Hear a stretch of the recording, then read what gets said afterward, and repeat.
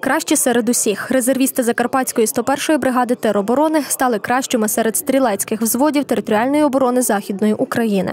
кращого стрілецького взводу, який в змаганнях конкурсі на кращий стрілецький взвод оперативного командування Захід здобув, виборов перше місце серед усіх стрілецьких взводів оперативного командування. Наші закарпатські хлопці змагались е, з своїми колегами, з військовослужбовцями стрілецьких взводів восьми областей Західної України. Змагання проводили на Рівненському загальновійськовому полігоні вперше. У них взяли участь понад 250 конкурсантів із восьми бригад. Стрілецькі взводи оцінювали за чотирма критеріями: вогнева та інженерна підготовки, тактична медицина, тактична підготовка. Стрілецька підготовка була вправа.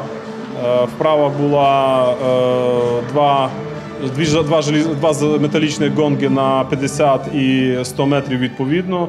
Інженерна підготовка то розмінування, розмінування е, проходу для взводу 5 на 10 метрів.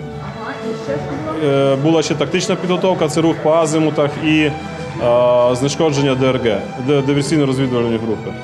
Також конкурсанти демонстрували вміння орієнтуватися на місцевості, виявляли та блокували ворожі диверсійно-розвідувальні групи. Закарпатські військові розповідають, було непросто, та з усіма поставленими завданнями справилися.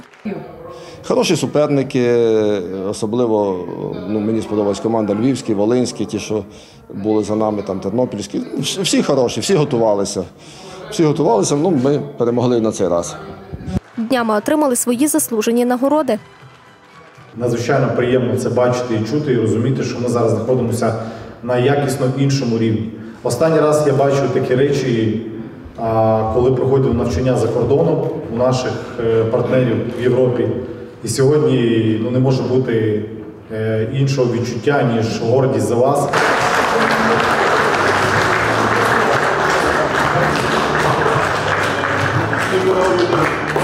Такі змагання проведено вперше за 30 років незалежності України. Але військові кажуть, це чудова нагода потренуватися, набратися досвіду, а ще підняти спортивний бійцівський дух. Зараз військові готуються до фінальних змагань, які відбудуться вже восени.